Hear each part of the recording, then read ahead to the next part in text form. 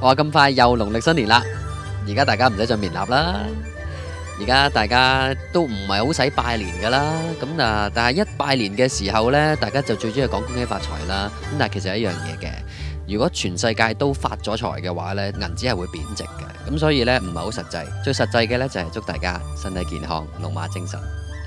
恭喜恭喜啊！我系李隆基啊，我喺度恭祝 DBC 所有嘅听众们。身体健康，心想事成啊！哇，万事的皆优啊！恭喜恭喜！